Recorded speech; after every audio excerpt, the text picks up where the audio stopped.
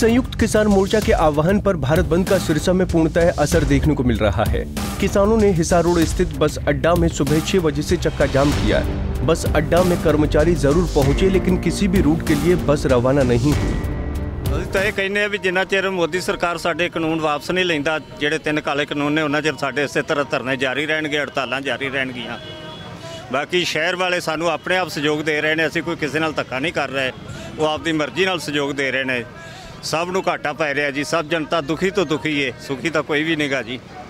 ਪਰ ਅਸੀਂ ਤਾਂ ਇਹ ਚਾਹੁੰਦੇ ਆ ਵੀ ਸਾਰੇ ਰਲ ਕੇ ਅਸੀਂ ਇਹ ਇਕੱਠੇ ਹੋ ਕੇ ਮੋਦੀ ਨੂੰ ਇਸ ਸੀਟ ਤੋਂ ਲਾਈਏ ਤੇ ਸਾਡੇ ਕਾਨੂੰਨ ਵਾਪਸ ਹੋਣ। ਲੋਕਾਂ ਦਾ ਤਾਂ ਬਹੁਤ ਸਹਿਯੋਗ ਮਿਲ ਰਿਹਾ ਜੀ, ਦੁਕਾਨਦਾਰਾਂ ਦਾ, ਮਜ਼ਦੂਰਾਂ ਦਾ, ਸਾਰੇ ਜਿੰਨੇ ਵੀ ਵਕੀਲ ਐਸੋਸੀਏਸ਼ਨ ਨੇ, ਹੋਰ ਵੀ ਜਿੰਨੇ ਵੀ ਧਰ- ਲੋਕ ਨੇ, ਸਭ ਸਹਿਯੋਗ ਦੇ ਰਹੇ ਨੇ ਜੀ।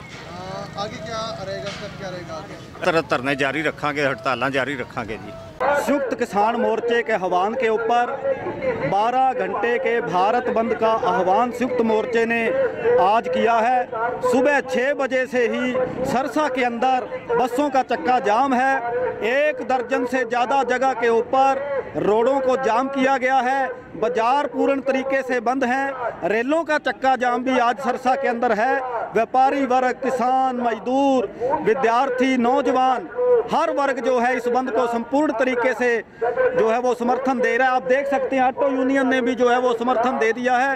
हर तरीके से हज़ारों की संख्या में जो लोग हैं वो इस बंद के अंदर शामिल हो रहे हैं। बाज़ार भी बंद करवाए जा रहे हैं। तीन काले कानूनों के खिलाफ आज का ये बंद, मोदी सरकार को, खट्टर सरकार को एक चेतावनी है कि आप इन तीन काले कानूनों को रद्द करो।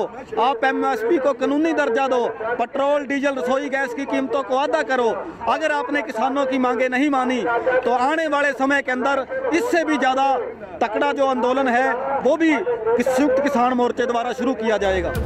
किसानों के भारत बंद को सभी का सहयोग मिलता दिखाई दे रहा है। बाज़ार पूरी तरह से बंद है। सुबह से कोई भी बस नहीं चली। यहाँ तक कि रेल भी बंद है। वहीं किसानों ने सरकार को चेतावनी देते हुए कहा कि जब तक सरकार तीनों कृषि कानूनों को वापस नहीं लेती और एमएसपी को कानूनी दर्जा नहीं देती, आंदोलन इसी तरह से जारी रहेगा। सिरसा से सतनाम सिंह पंजाब केसरी टीवी।